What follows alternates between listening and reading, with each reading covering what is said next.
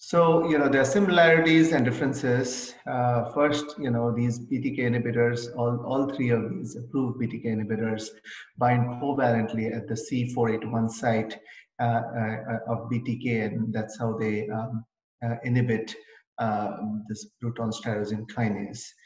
Based now, based on the kinome data, it appears that acalabrutinib and zanubrutinib are, are more selective for BTK compared to ibrutinib.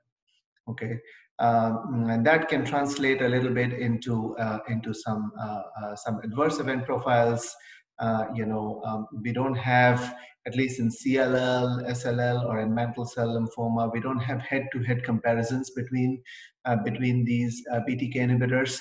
So it's probably not a fair way to look at individual studies and you know look at their um, adverse events but that's all we have right now. We do have uh, zanubrutinib versus ibrutinib in Waldenstrom's uh, uh, study, which is available. But outside of that, we don't really have it in the other diseases.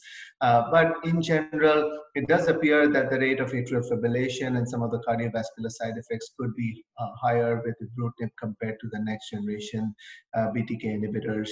Um, and uh, so that that may be related to the to the to the selectivity for BTK.